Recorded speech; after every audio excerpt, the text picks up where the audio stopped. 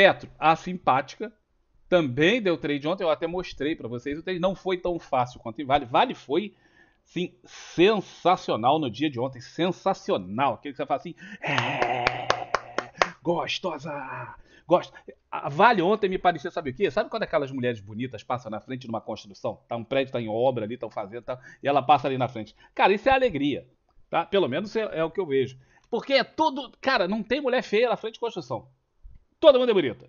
Então, é exatamente a Vale ontem. Espetáculo. Feminazes, por favor, não me odeiem, não me cancelem, não mandem me matar, nada disso, tá? É apenas um jeito simpático de falar de uma pessoa antiga, uma pessoa velha, que fala com formas antigas, tá? Eu não sou modernoso. A Petro, então, é, ontem deu uma pequena movimentação, mas isso aqui continua dentro do, do swing trade. Isso aqui continua sem dar grandes sinais. O sinal bacana vai ser seguro, vai ser quando superar isso, se superar, claro, né? Vai ser quando superar isso. Então, o sinal de compra vai dar para swing trade bom ali.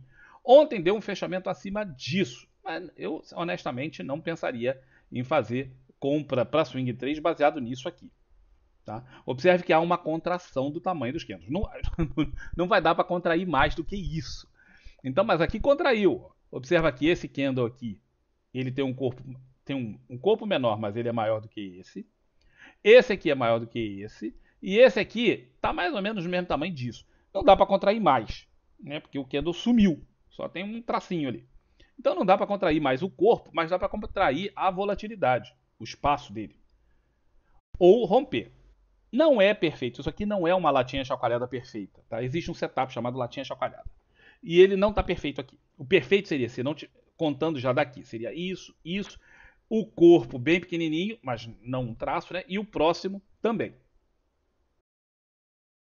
Então não é uma latinha chacoalhada perfeita, mas aquele negócio, nem sempre a perfeição a gente vai encontrar, e é melhor você casar com a melhor mulher do mundo não perfeita do que esperar a perfeita e ficar o resto da vida esperando, porque você não vai encontrar. Não existe mulher nem homem perfeito. Né? Aliás, não existe ninguém perfeito. Quem existiu, mataram. Então, infelizmente, pessoal, é, é assim. Quando encontra a perfeição, os caras matam. Então, isso aqui, se romper para cima, pode dar compra para pessoas bem ousadas. Como deu compra para pessoas bem ousadas aqui atrás. Pagaram. Quem fez, a, quem foi ousado conseguiu se dar bem. Mas para quem é mais conservador, quem quer jogar no seguro, a compra está aqui em cima. E para venda, tem alguma potencial de venda? Cara, se perder a mínima dessa, desse conjunto, tá vendo que isso aqui é uma congestão? Se perder essa mínima aqui, dá uma potencial trade de retorno à média com esse gap aberto como suporte.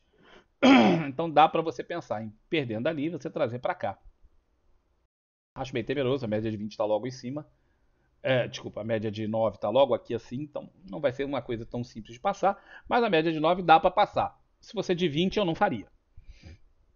A de 9 eu posso até negociar. Mas não seria o cenário que eu estaria procurando cena, é, situações para venda.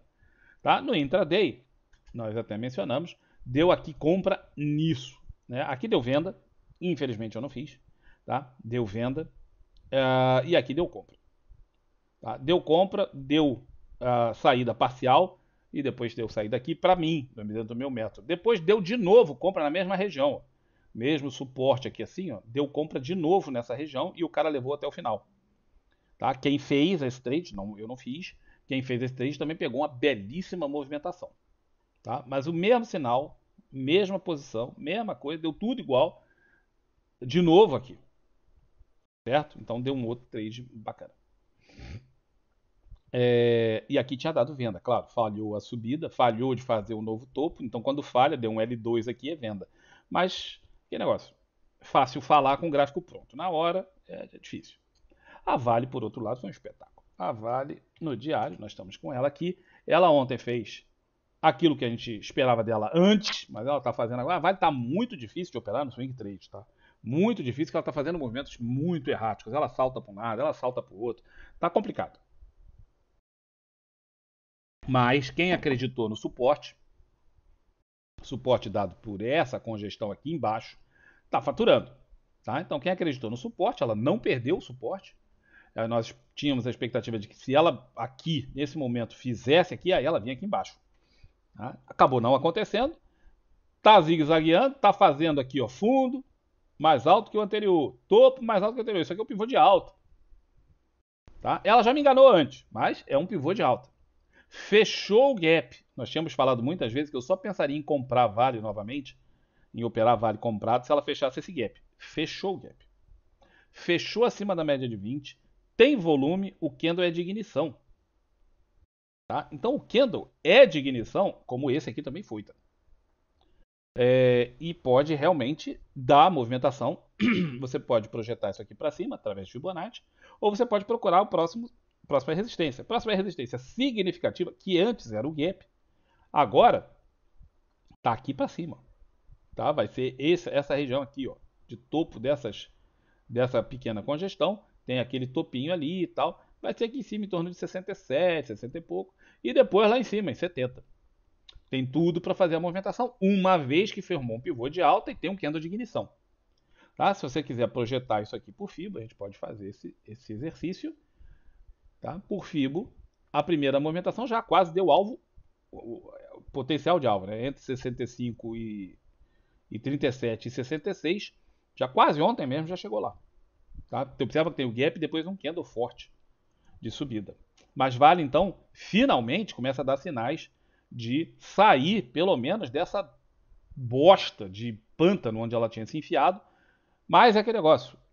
Esperança é aquele negócio. É, é, é um troço difícil de manter depois de você ter passado por essa situação. Porque aqui era, a situação era exatamente a mesma. Era exatamente isso aqui, aqui. Então, muito cuidado com, com o entusiasmo e tal, porque aquele negócio, gato escaldado tem medo de água fria.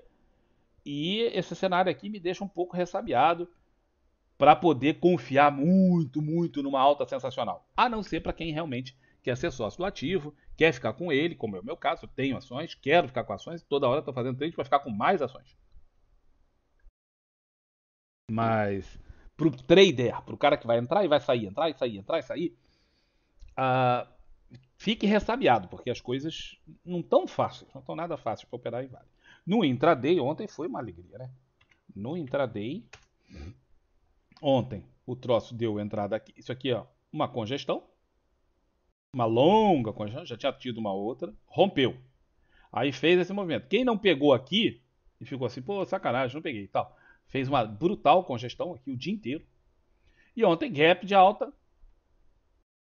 Você espera, tá? Você fala, não sei o que vai acontecer. Rompe para cima, você compra.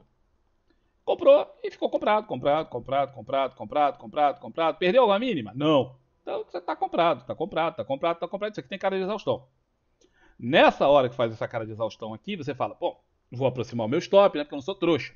Aí você puxa o seu stop para aqui. E espera. Agora, quando perder uma mínima, eu saio.